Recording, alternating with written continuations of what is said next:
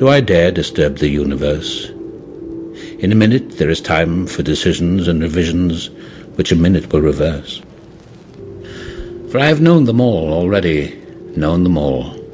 Have known the evenings, mornings, afternoons. I have measured out my life with coffee spoons.